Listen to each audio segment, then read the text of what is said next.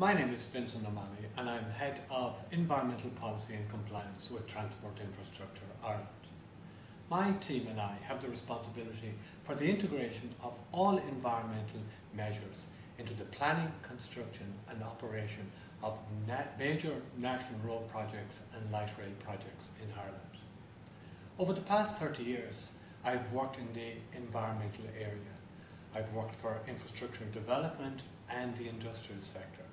And during that time, I've developed policies and programs related to climate change, sustainability, waste, air and noise issues.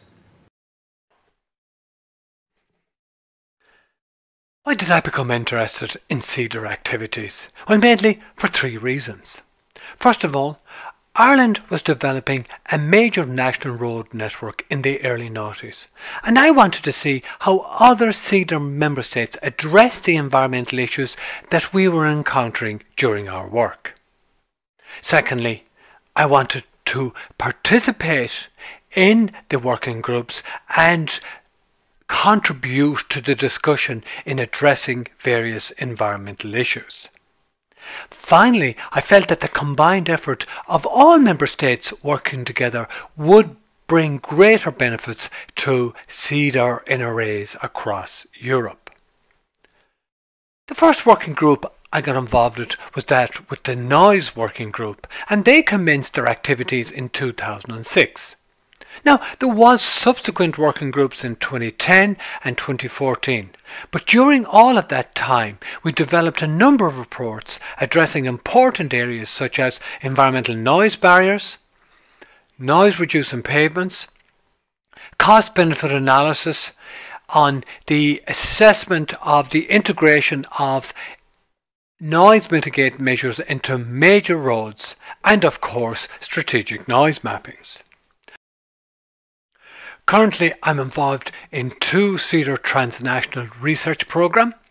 The first is the 2015 Climate Change Programme, which has three projects known as Watch, Detector and ModBear. The second program I'm involved in is the 2016 Biodiversity Research Programme. And currently we have one project in that program, and this project is known as Control in Roads, where the researchers are looking at the impact of invasive plant species on major roads across Europe. I feel this is an area that will present a great challenge to NRAs across Europe going into the future.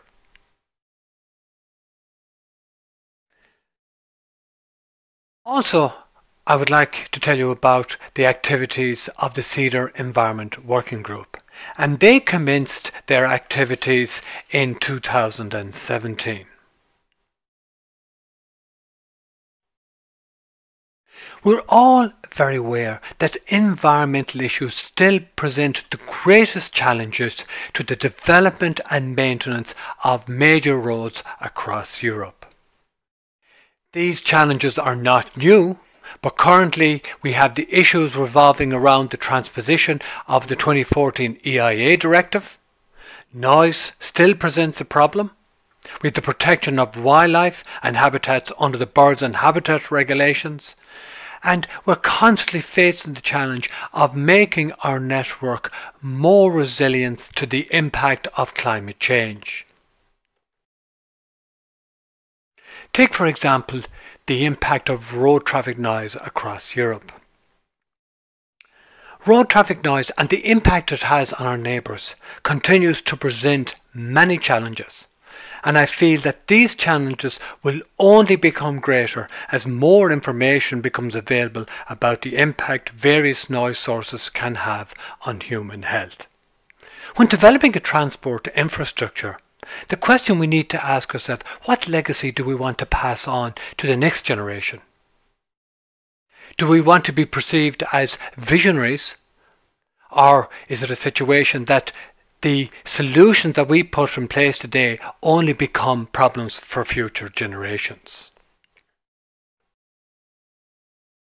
Coming back to the activities of the CEDR Environment Working Group.